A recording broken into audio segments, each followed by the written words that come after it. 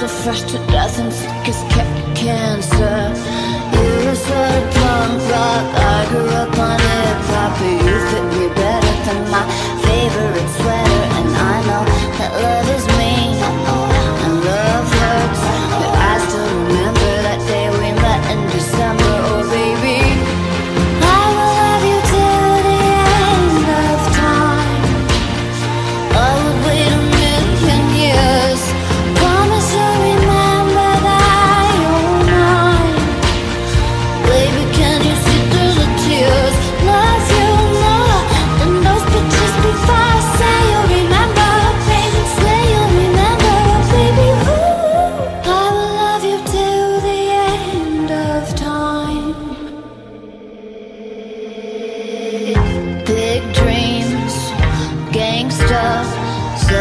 had to leave to start your life over. I was like, no please, stay